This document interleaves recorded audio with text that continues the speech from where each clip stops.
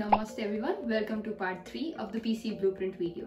So in part 2 we discussed what topics are going to be asked. In part 1 we discussed the basic weightage. So if you haven't checked those videos, please do check it out.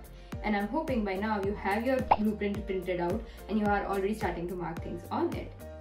In part 3 what we are going to discuss is what sort of things could be asked under those headings, under those topics like let's say what can be asked under low back pain or what can be asked under pregnancy. These are the things that we are going to discuss. So let's get started. It's a 12 to 15 minute video. You better take your note and pen and get ready. Alright, so this is the list of functions evaluated by PCE. First and foremost, uh, this list is again not exhaustive, but this this will tell you what you are going to study and what is going to be uh, the focus of the exam in terms of uh, if you are preparing for orthopedics okay? And if you are uh, preparing for i don't know uh, let's say low back pain okay?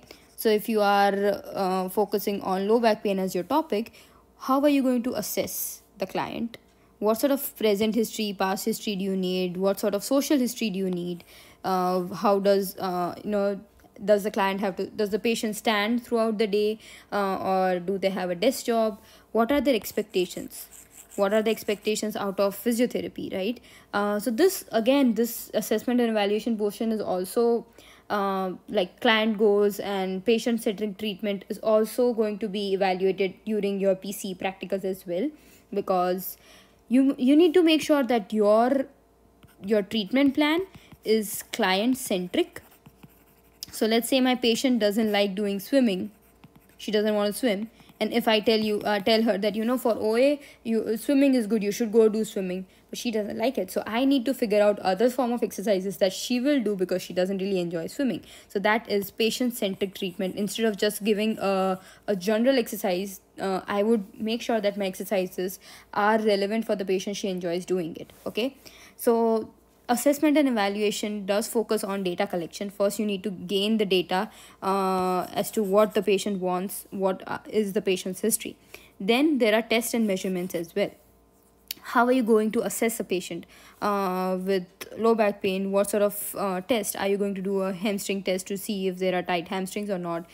As something as simple as that as well right so you will be uh, performing evaluations and assessments and what sort of equipments you would use uh, and also if the patient is in an acute care so this is more uh, related to your pce practicals. If the patient is in acute care how are you going to handle the patient? Like if there are iv lines attached how are you going to walk the patient in the corridor after the tkr or thr something like that okay? Now you're also going to examine and evaluate uh, for neuromuscular conditions neurological conditions how what sort of test you are going to use your special test. Uh, what sort of special test you are going to use for someone with piriformis syndrome things like that. Again you also are going to focus on contraindications. If there is ra if there's acute ra are you going to do joint mobilization or not? No you are not going to do joint mobilization if there is uh, acute swelling and the patient has pain okay? Severe pain you're not going to mobilize the joint. Um, I mean, you could do grade one, grade two, but again, it's it's deb- debatable. Okay. So also, uh, you are going to focus on uh, providing gait aids, mobility aids, right? If the patient has TKR and the patient has pain during uh, walking, are you going to give a walker or are you going to provide crutches? Or what happens to a patient who has just uh, gotten a below knee amputation? What sort of prosthetic device you would suggest? Things like that. You need to uh, be prepared for that. Okay now interpretation. Planning intervention. How are you going to interpret the data? How are you going to make a pt plan? What sort of intervention? How are you going to reevaluate this patient? 50 to 55% of the exam questions would be focusing on these kind of scenarios.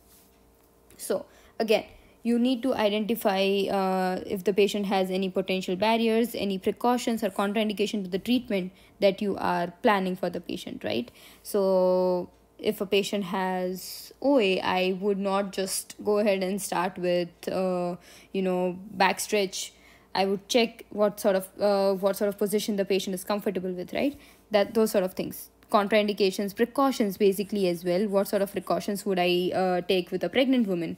Uh, she's 8 months pregnant. What sort of exercises would i do? Things like that. Determine need for pt treatment and if there is a referral necessary okay? Very important to know when to refer the patient to the doctor okay? If there is any change in the medications or if you feel like the patient uh, needs to be screened for cancer you are going to refer them to your doctor. You are not going to give the uh, diagnosis to them without uh, you know if it's not in your field of uh, if, if, if it's not in your field of practice you are going to refer them to the doctor. Prognosis uh, again with clinical component they the patient might ask you a question during your clinicals that uh, when do you think i can go back uh, to my game? If someone has an uh, acl injury and the, the the 18 year old is asking you when can i go back to my game? What are you going to tell?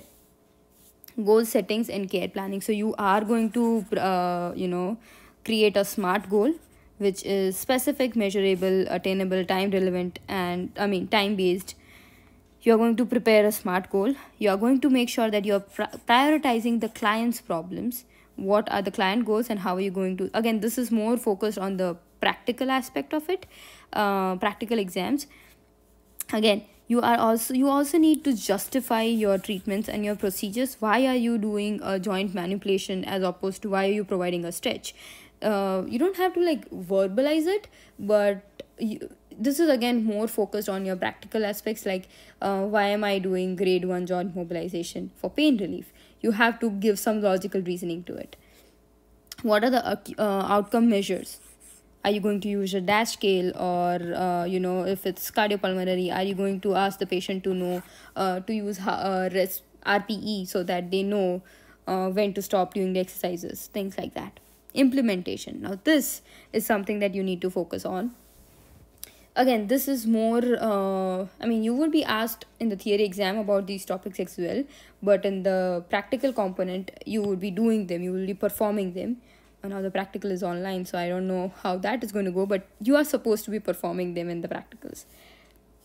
So uh, let's say right now during the virtual exams we are preparing uh, that you know how would i give a patient exercises without any equipment? So using laundry bags broomsticks uh, even if you don't have any laundry bags you're just going to do uh, you know active range of motion exercises passive range of motion exercises things like that.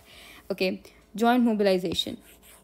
Very important uh, to know in terms of what sort of grade you are going to provide why you are going to provide grade 3 as opposed to uh, grade 1 things like that. Joint manipulation soft tissue techniques uh, endurance exercise program postural training positioning specifically for cardiopulmonary uh, conditions uh, gait mobility assessment gait assessment as well. Uh, that's something that they do focus on the pract- the practical exams as well. Okay so gait assessment. Uh, nerve gliding techniques specifically for wrist surgeries wrist injuries so things like this you'll need to keep in mind. Okay, I know it's it's it's it's a lot, but we are going to get this done with. Okay, so you are. This is like uh, the the the the table focuses on gait training, balance training, uh, use of modalities. So you should know how to use a PP, how to uh, you know check a patient's balance, how to train uh, their proprioception, uh, sensory training techniques, uh, then traction, then compression, how are you going to use paraffin wax bath, what sort of temperature would be, hot packs, when are you going to use hot going to use hot packs, when are you going to use cold packs, EMG, TENS, IFC, HVPC, um, laser ultraviolet uh, short shortwave diathermy. If you know the basics and you know uh, you know what sort of uh, skill set you need for that it's more than enough. Ultrasound uh, orthotics prosthesis uh, yeah this this one is important as well. Recognize and respond to the adverse effect of an intervention. So if you're using hot packs or if you're using uh, if you have just given your uh, clients i don't know prosthesis and they develop pressure source or there's pressure sensitive area because of the orthotics what are you going to do? Because of the prosthetics what are you going to do? Things like that.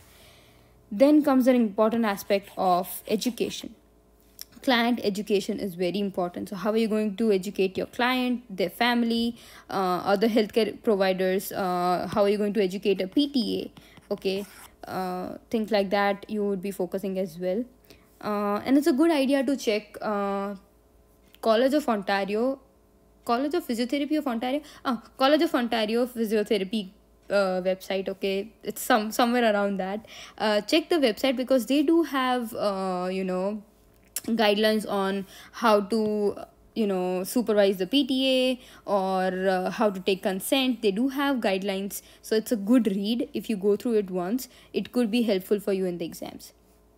Intervention progression okay? How are you going to progress? When are you going to reduce the number of uh, you know when are you going to reduce your exercises? When are you going to increase the number of repetitions that you need for this patient what are you going to do? How are you going to progress or regress? Okay? So how are you going to adjust revise or discontinue uh, when the patient's goals are achieved or the treatment is no longer effective? Okay? So that's that. Professional responsibilities you do need to respect the confidentiality and the dignity of the family and the client. Communication consent is a big thing uh, both for written and practical component uh, practice management how are you going to document? How, what till what time you are going to store your documents? How are you going to make sure that uh, you know the the patient's details are protected uh, to make sure that their privacy is maintained okay and infection control specifically with covid uh, you do need to focus a lot on your ppe as well. I don't know if they'll be asking you questions on that but again uh, infection control is a good aspect that you need to focus on. And prioritization they sometimes do ask questions like if you are overbooked and you have patient uh, who needs you uh, are you going to see patient a or are you going to see patient b first? And are you going to give this patient to a physiotherapy assistant or are you going to do it by yourself? So if you can't really ask your pta to uh, do evaluations for you re-evaluations for you but you can give them uh, exercise protocols that you have already uh, designed for the patients and they can sort of be with the patient and get them to do those exercises things like that. So yeah that brings you us to page 8 of 9 and now finally we are here at this point when we are discussing what is not asked in the exams okay? This is the fun part right? So they don't ask all these things. They don't ask how are you going to uh, administer cpr how are you going to apply first aid? Things like that. Because this is not something that they want to evaluate for an entry to practice physiotherapist. Again, you're not going to be asked how are you going to adjust orthosis or positioning devices or identify heart sounds. So you could just go through this. You're not going to be asked about needling techniques or uh, dry needling, or you're not going to be asked about uh, taping techniques, phonophoresis, things like that. Okay, so that concludes our PCE blueprint. Now, what I want you guys to do next is get your blueprint printed. I'm hoping you've already done that. If not start doing that. Get a canada diary. Make a book or a word page or whatever you want to. Jot down all the things that you gain uh, you know all the information that you have on your journey to canada that would help you when you start your process. And i also want you to get your reference books just start thinking of what reference books you'll uh, use. Whatever books you have right now you can use them. It's it's not necessary that you have to use one specific book. Just start to uh, you know prepare for the exams and slowly and steadily you'll know what to do. And as always we are there available on instagram facebook and even on youtube. So if you have any questions just ask us there. Okay? All the best